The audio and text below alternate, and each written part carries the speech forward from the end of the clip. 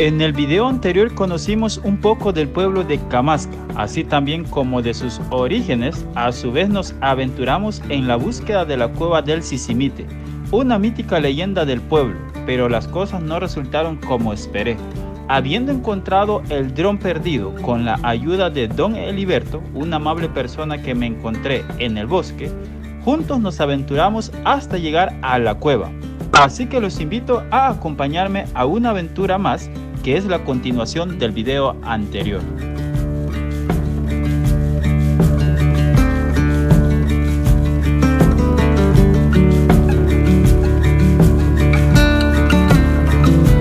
Quiero enseñarles los paisajes de aquí, que están bien bonitas estas piedras, bien bonitas. Me imagino que estos hoyos, algunos animales, algunas aves tuvieron que haber vivido en algún momento. No, es que hay animales. ¿Verdad? No, yo sé que en Intibucá hay bastante culebra. Mire que yo cada vez que... Yo he venido varias veces.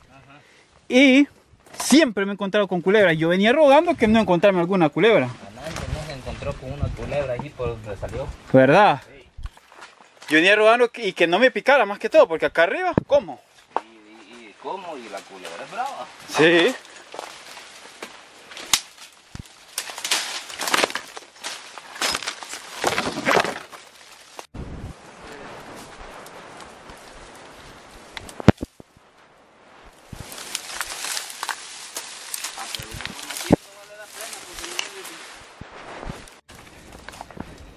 Ya saliendo al camino, al arriba ese camino es parejo y lo llevo a todos lados. Sí.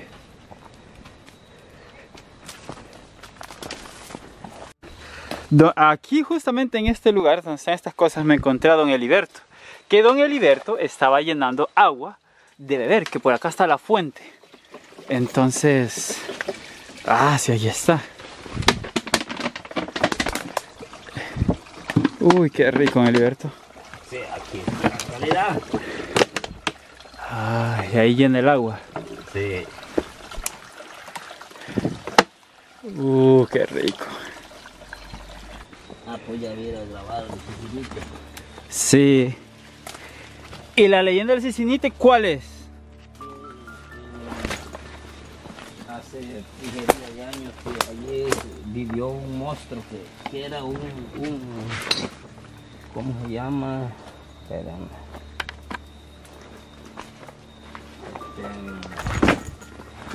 Como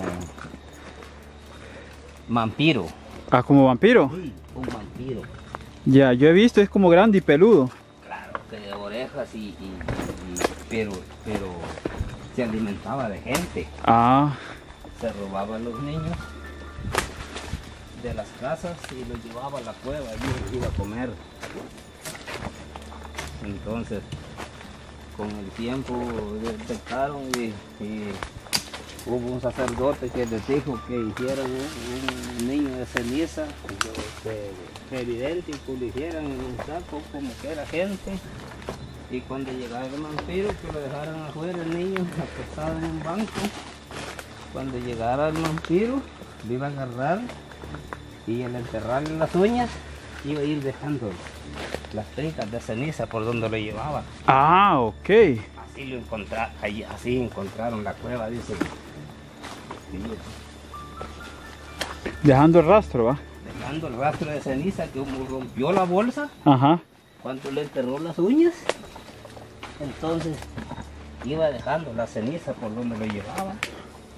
Encontraron la cueva.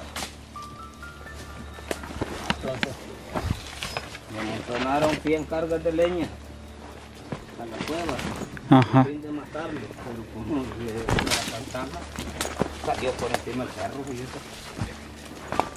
Rompió una piedra, pero piedra gruesísima, recto arriba y como que era con- por lodo que iba saliendo con la mano, lo iba haciendo así, me para arriba, ¿ves? Ah, Hasta salir arriba, pura piedra. Sí, pegando un ratón. Qué interesante historia. ¿Lo lograron matar o se corrió? Eh, Se fue. y allí pegó un solo salto a caer otro perro que está allá al otro lado. Ajá. Claro que tiene alas, pues. No tiene alas, Ajá. pero murciélago. Pues solo para que sepan, arriba de esa montaña andábamos, de todo ese cerro que se encuentra ahí. Filos. En el filo, ¿va? Sí.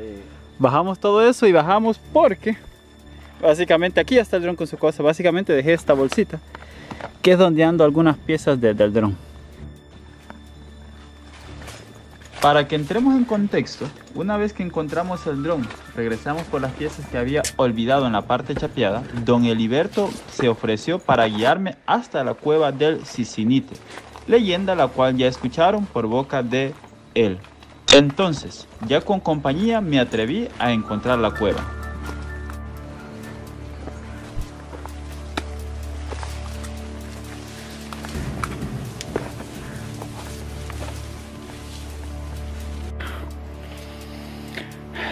¿Dónde me vine a meter? Tengo que subir esto.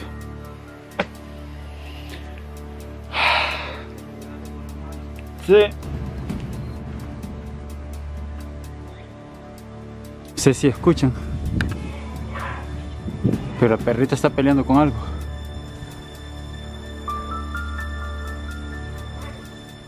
Cuando la sacaron con fuego al otro lado. Sí, la negra no anda con cuentos de calzón armadillo. Lastimosamente está pequeñito porque estos animales se comen. Bueno, yo he comido. Sí. ¡Eh! ¿Cómo lo tiene la negra? negra, esta es completa, negra. Y está pequeñita la negra, ¿verdad? Sí. Bebelio, ¿está cansado? Algo. Ay, sí, yo estoy cansado. Uy. Pero qué bonito aquí, don Evelio. Bueno, logramos llegar a la cueva que andamos buscando. Me llama la atención que es una piedra blanca, blanca, blanca, blanca. En medio de la nada. Ustedes lo pueden ver acá. Básicamente. Y la escena es bien bonita, bien bonito, bien bonito el lugar. Entonces vamos a buscar la cueva. Para acá la cueva, ¿verdad? Ah, allá. Ahí está Don Evelio descansando. Yo subo toda esta parte blanca por ahí, me dice. Y allá tengo que llegar a la cueva. Voy a seguir para allá entonces. Y vamos por todo el camino. Quiero comentarles que hoy no sé cómo estoy de pie. Porque yo subí la, la montaña a cierta parte. Después me arrepentí, que es, lo que yo les contaba. Creo que este video va a estar en dos partes. Si está en dos partes, y esa parte no está en esta parte, está en la parte anterior. Parece trabalengua. ¿va? Entonces, subí eh, y bajé porque me arrepentí. No quería, no quería subir solo. Volé el dron, se me trabó el dron. Volví a subir, pero mucho más arriba. Mucho más arriba de lo que está aquí. Y volví a bajar porque dejé unas cosas olvidadas. Y volví a subir. Para ya que me quede acá, me va a tocar grabar la cueva. Justamente ahí es la parte blanca donde iniciamos el video. Justamente ahí.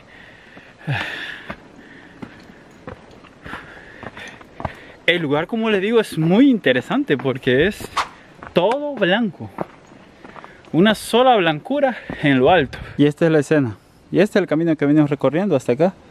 Siendo sinceros, a mí se me hace raro que haya un camino tan marcado, tan bien hecho, justamente para entrar a esa cueva, en este lugar así de la nada. Sí se me hace raro. Muy raro porque aquí no hay nadie. Estoy en la mera entrada de la cueva. Quiero decirles que la cueva apesta, apesta, pero apesta. O sea, no voy a entrar. Yo no sé por qué vengo a las cuevas y no entro, ¿verdad? Bueno, pero igual. Yo no sé si don Evelio le dio un miedo. No, creo que no. Él ya está acostumbrado a esta cosa. Pero no vino hasta acá conmigo.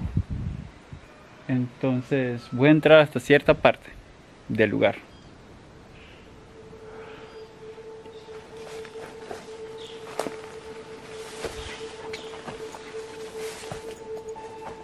Quiero decirles que la cueva es bastante, bastante profunda. Y por lo que veo, uff, sí apesta. Viven murciélagos porque sí hay excremento en todas estas rocas, incluso en la roca que está allá en el fondo. Hay excremento. Voy a entrar un poco sin hacer mucho ruido por si hay algún animal o algo.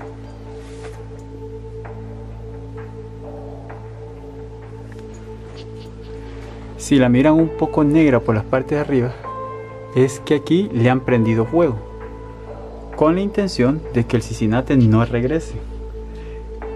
Incluso la historia que se cuenta aquí es que se prendió fuego, incluso la cueva parece que no tiene fin y solo para arriba. Que se prendió fuego porque este animal como robaba niños y se los traía a comer aquí, dentro de las cosas que nos han contado, entonces querían exterminarlo, pero no lo lograron. Bueno, logré entrar un poco, no voy a entrar mucho, porque tendría que escalar todas estas rocas y, y no lo voy a hacer. Si escuchan ruidos, imagino que hay bastantes murciélagos. Bueno, la historia aquí del Cicinate es que él robaba niños y se los traía a comer acá.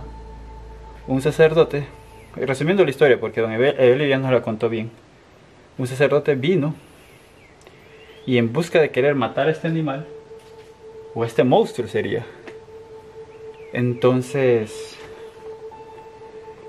hizo un niño como de ceniza y cuando este vino le enterró las uñas al muñeco de ceniza eh, y luego empezó a huir, él iba dejando las cenizas, eh, que el, el, muñeco que él andaba en las uñas que había atrapado, este, iba dejándose eh, las cenizas y justamente ese era el rastro que ocupaban las personas del lugar para encontrar la cueva y era justamente aquí. Vinieron acá y le prendieron fuego.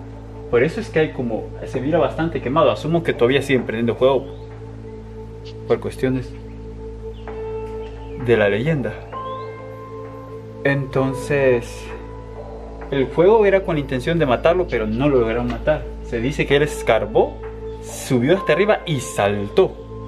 Y cuando saltó, se fue a otro lugar. Pues al fin no lo mataron y nunca lo volvieron a encontrar. Esa es la historia que se encuentra en este lugar. Pues déjenme decirles que todo el sacrificio que he hecho es para mostrarles este lugar. Desde acá en la montaña me encuentro en Evelio que este pico que se ve aquí se le denomina Cerro del Bru porque anterior tiempo, anteriormente vivían algunas personas que hacían brujería y justamente vivían en esta zona. Por eso le apodaron ese nombre. Bueno, ya basta con tantos misterios acá en la montaña. Mejor disfrutemos de estos hermosos paisajes verdes del pueblo de San Ignacio en Camasca, Intibucán.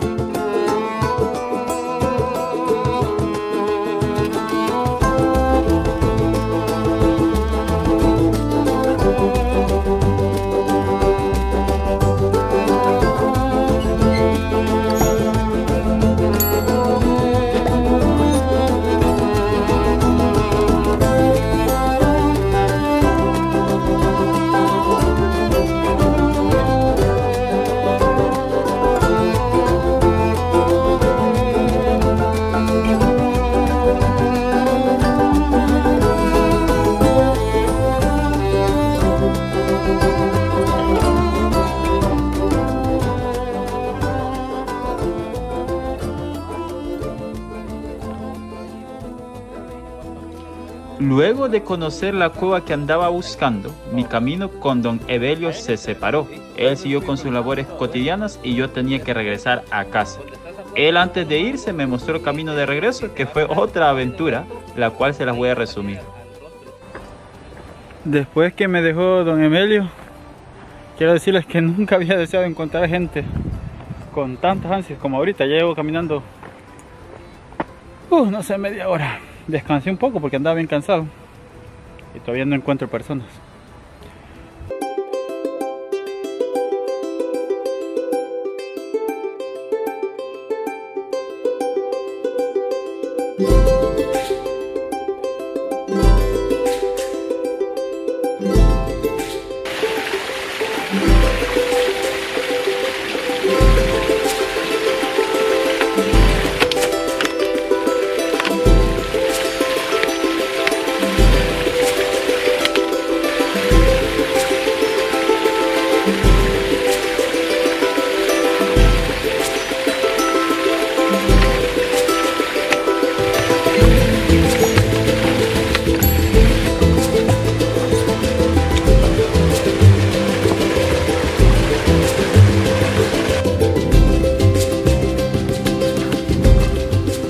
Si recordamos bien, yo entré por el pueblo de San Ignacio a la montaña.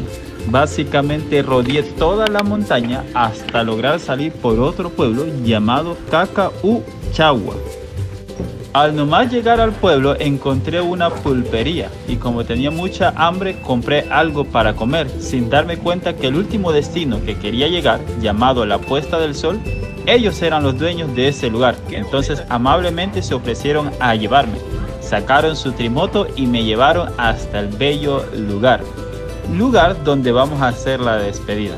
Les agradezco por ver este video, por acompañarme en una aventura más Suscríbanse, compartan, denle like, que todo eso me ayuda a seguir creando contenido.